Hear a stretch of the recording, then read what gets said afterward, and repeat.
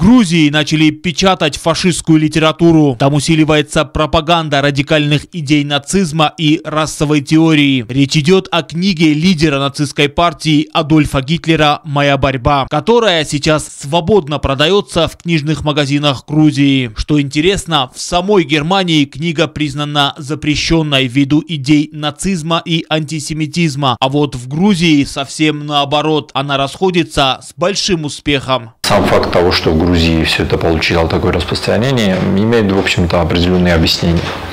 И они а, в целом находятся в русле той э, националистической радикальной политики, которая ведется э, на протяжении уже десятилетий на самом деле. Комитет госбезопасности нашей республики сделал по этому поводу заявление, в котором обращает внимание на радикализацию Грузии.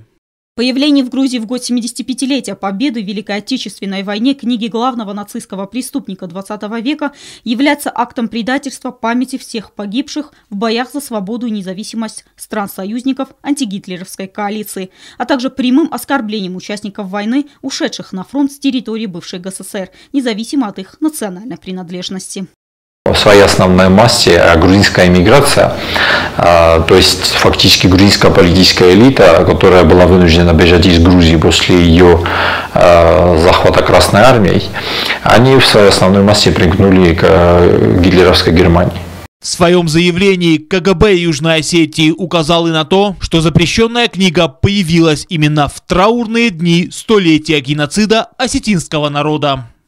Данный факт еще раз свидетельствует о том, что тбилисский режим вместо признания своей ответственности за совершенные в 1920 году преступления против человечества продолжает испытывать интерес к радикальным идеям и вынашивать в отношении Южной Осетии преступные и агрессивные замыслы.